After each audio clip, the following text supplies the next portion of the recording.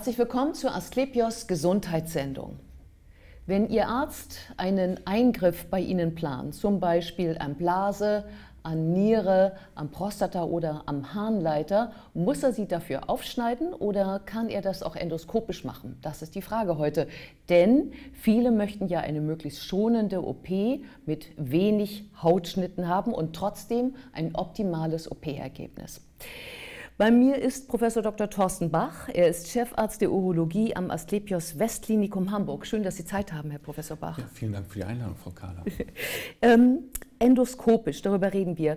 Sagen Sie uns noch mal genau, was heißt das im Bereich der Urologie endoskopisch? Endoskopisch heißt, dass wir im Endeffekt natürliche Körperöffnungen nutzen, um Erkrankungen, Steine, Blasentumoren oder auch die gutartige Prostatavergrößerung zu behandeln. Also der klassische Steinschneider, wie man sie den Urologen noch aus Schnitten aus dem Mittelalter kennt, der sind wir heute zum Glück nicht mehr, sondern wir können sehr viel schonender, sehr viel effektiver den Patienten, die Patientinnen behandeln. Das heißt also, Sie setzen äh, kein Skalpell an irgendwo oder müssen Sie doch, doch Instrumente durch die, durch die Bauchdecke vielleicht? Nein, es gibt also ganz selten Situationen, wenn man zum Beispiel sehr große Nierensteine von außen durch die Haut behandelt, wo man doch nochmal kleine Einschnitte macht. Wir reden da von ungefähr 4 bis 6 Millimetern oder 8 Millimeter Schnitten, was natürlich nichts mehr ist im Vergleich zu den großen 10, 15 Zentimeter Schnitten der Vergangenheit, zumal wir sobald wir die Haut, irgendwie diesen Hauteinschnitt gemacht haben, einfach um durch die Haut zu kommen, komplett minimalinvasiv endoskopisch arbeiten und ähm, deutlich gewebeschonender und patientenschonender arbeiten können als noch in der Vergangenheit. Und ähm, welche Krankheiten kann man so behandeln? Sie hatten schon gesagt, Steine, Nierensteine, Blasen. Ja, ja. Also sagen wir, Schwerpunkte der Endourologie sind Steinerkrankungen, Nieren- oder Harnleitersteine, die gutartige Prostatavergrößerung oder auch das Behandeln von Blasentumoren. Ja, Blasenkrebs, gerade wenn man äh, in der Erstdiagnostik oder auf die Blase begrenzter Blasenkrebs kann komplett endourologisch behandelt werden.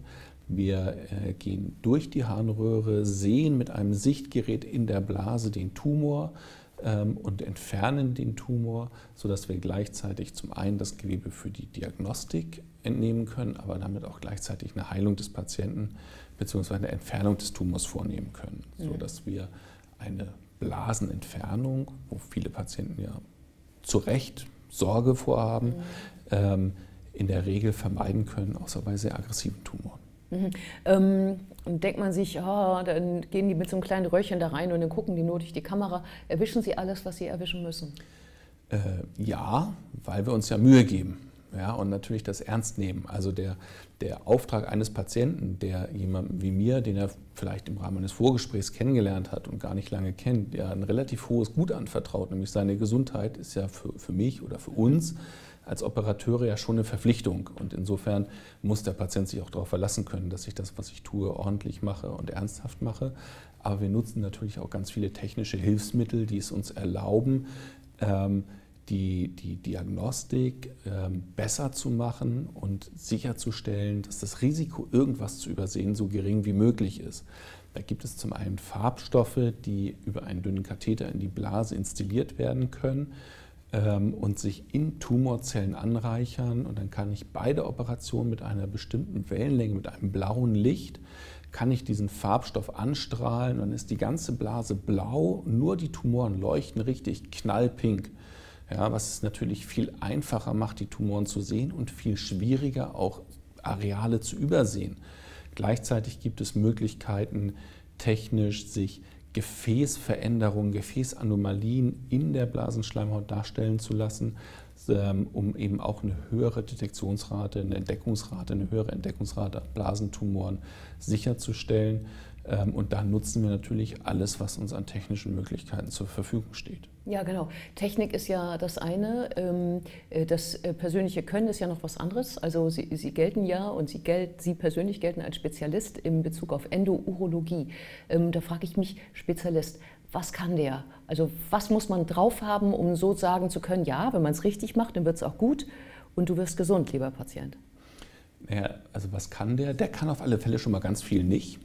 Ja, weil die, wenn man sich die Urologie ist ja ein relativ breit gefächertes Fach. Mhm. Ja, und ähm, Im Rahmen der Urologie habe ich mich über die letzten Jahre, Jahrzehnte sind es in der Zwischenzeit, ähm, spezialisiert auf endurologische Behandlungen, also auf Behandlungen, wo wir natürliche Körperöffnungen nutzen. Und da gehört die Steintherapie, die Therapie von Blasentumoren, aber vor allen Dingen die gutartige Prostatavergrößerung dazu. Mhm. Lassen Sie mich mal ein Beispiel aus einem anderen Fach nehmen. Wenn Sie einen Orthopäden aufsuchen, weil Sie eine Verletzung am Knie haben, dann suchen Sie keinen Orthopäden auf, der Schulter, Rücken und Knie ganz gut kann, sondern Sie suchen einen, der Knie kann.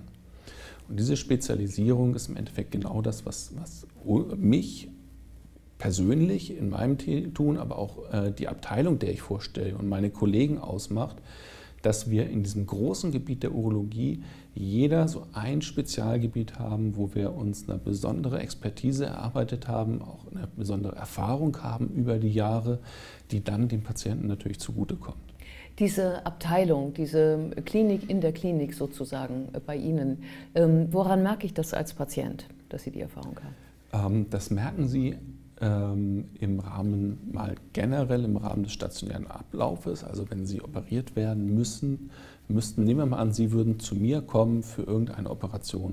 Mhm. Da hätten Sie einen Termin bei mir in der Sprechstunde für eine bestimmte Erkrankung, mit einer anderen Erkrankung vielleicht bei einem meiner Kollegen. Wir beide würden über die Operation reden, wir beide würden über die Erkrankung reden. Ich würde die notwendigen Untersuchungen machen. Wir würden über die Operation, also die Aufklärung der Operation reden. Und wenn Sie keine Fragen mehr haben und überzeugt sind, das ist jetzt der Weg, den ich gehen möchte, und nachdem Sie mich kennengelernt haben, auch noch der Meinung sind, der Bach ist der, der es machen soll, ja, kann ja auch sein, dass Sie sagen, es passt einfach nicht, dann würde ich sie operieren. Mhm. Ich würde sie nach der Operation sehen. Ich würde sie während des stationären Aufenthaltes im Rahmen der Visite sehen. Und wir würden zum Abschluss der stationären Behandlung besprechen, wie es jetzt weitergeht. Das heißt, Sie hätten mhm. quasi mit Ihrer Erkrankung bei uns in der Abteilung in Rissen, hätten Sie, sehen Sie von Anfang an, haben Sie sozusagen den Arzt, der Sie von A bis Z betreut. Mhm. Und ähm, die, wenn Sie dieses äh, Gespräch führen am Anfang, da würde ich mal sagen, legen Sie ja dann wahrscheinlich auch fest, welche Therapiemöglichkeiten Sie für mich, also welche dann für mich in Frage kommen. Ähm, wenn wir jetzt zum Beispiel mal sprechen würden über über Prostata, passt jetzt nicht so sehr auf mich, aber okay. sicherlich auf einen männlichen Patienten. Da gibt es eine Vielzahl von Geräten. Haben Sie die alle? Ja, da muss man tatsächlich sagen, sind wir in der glücklichen Lage, dass wir alles anbieten können, was in den Leitlinien sinnvoll empfohlen ist mhm. oder auch was an neuen Therapien mit einem großen Potenzial versehen ist, eben zukünftig ähm, die ein wesentlicher Bauteil der Therapie sein zu können. Mhm. Ja. Ähm, warum? Weil wir uns eben durch diese Spezialisierung, äh, zum Beispiel bei der gutartigen Prostatavergrößerung, ähm, es aus unserer Sicht dazugehört, dass wir den Patienten genau das anbieten können, was für den einzelnen Patienten wichtig ist. Mhm. Ja, wir kennen das aus der Krebsmedizin, Stichwort personalisierte Medizin. Ja, da sind wir ja schon längst darüber weg, dieses jeder Patient kriegt eine Therapie, sondern man guckt sich sehr genau den Patienten an, man guckt sich den Tumor an, man guckt sich bestimmte Marker an und danach wird die ideale Therapie festgelegt. Nichts anderes steht ja auch einem Patienten mit einer gutartigen Erkrankung zu. Also nur weil es kein Krebs ist, müssen wir den ja, dürfen wir den ja nicht schlechter behandeln. Das wäre eine Katastrophe, sondern da kommt ein Mann zu mir, der hat Probleme mit der Prostata, Probleme beim Wasserlassen. Und dann gibt es, ich sag mal, sinnvoll fünf unterschiedliche Therapieformen, mhm. mhm. die alle unterschiedliche Vorteile, aber auch gegebenenfalls Nachteile bieten. Das kann sein, dass das eine Verfahren seit über 20 Jahren schon etabliert ist und wir sehr gute Langzeitergebnisse haben. Es kann sein, dass ein neues Verfahren vielleicht deutlich weniger Nebenwirkungen verspricht, aber wir dafür eben noch keine 10, 15 Jahre Erfahrung haben. Wie soll das auch gehen beim Verfahren, was es erst seit fünf Jahren gibt? Mhm. Ähm, trotz allem kann das für den einzelnen Patienten ideal geeignet sein. Bleiben wir bei der BPH-Therapie. Wir mhm. fangen in der Regel an, wenn Beschwerden kommen, den Mann mit Medikamenten zu behandeln. So. Dann gibt es einen Teil der Männer, obwohl die Medikamente sehr gut verträglich sind, obwohl die Medikamente extrem gut helfen, die, deren Beschwerden mit Medikamenten nicht kontrollierbar sind oder die vielleicht auch Nebenwirkungen haben. Das heißt, da müssen wir über den nächsten Schritt reden. Das ist dann oftmals die Operation.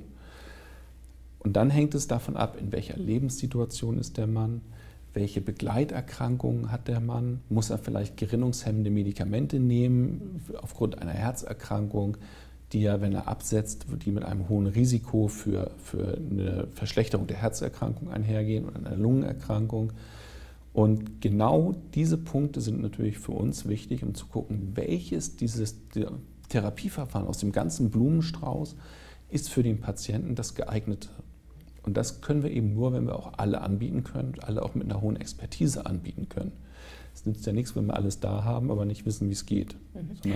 mhm. Das heißt also, ähm, ja, ich habe die ganzen Geräte so im Hinterkopf. Also da gibt es den Greenlight-Laser und es gibt äh, den Holmium-Laser und es gibt Aquabeam und es gibt noch eine Wasserdampfmethode, ähm, äh, Resum. Ähm, bleiben wir mal bei, bei, bei den wassergetriebenen Geschichten, mhm. Wasser und Wasserdampf, die sind ja vielleicht auch die neueren. Ähm, nur kurz, bei wem würden Sie was anwenden? Ja, das...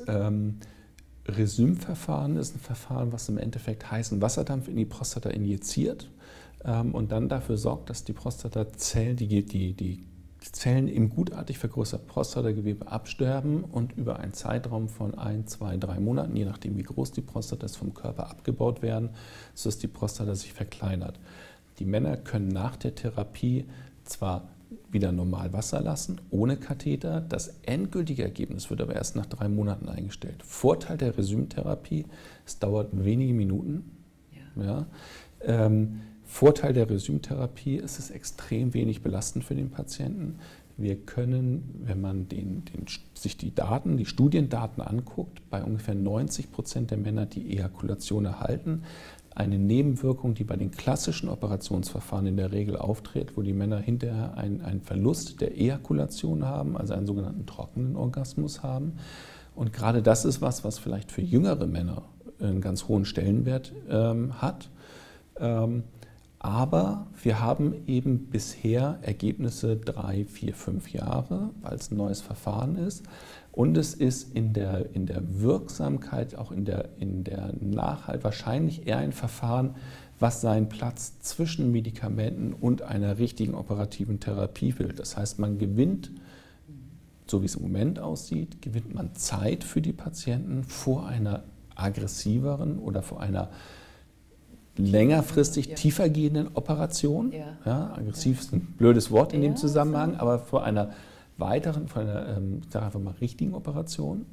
Ähm, und wenn man das vorher bespricht und der Mann weiß, es ist jetzt nichts, was mir vielleicht die nächsten 30 Jahre hilft, aber ich gewinne damit drei, vier, fünf, vielleicht auch zehn Jahre mit zufrieden mit dem Wasserlassen, was für mich gut ist, wo ich eine hohe Lebensqualität habe und mit einem ganz geringen Risiko für Nebenwirkungen, dann ist das, glaube ich, ein ganz wichtiger, wichtiges Verfahren, was, was seine Berechtigung hat für einen bestimmten Teil der Patienten. Beim Aquabeam-Verfahren ist es mhm. anders. Genau. Mhm. Das Aquabeam-Verfahren ist ein Verfahren, was direkt Gewebe abträgt. Das heißt, wir haben ein Verfahren, wo wir quasi Know-how aus der Industrie in die Medizin übertragen.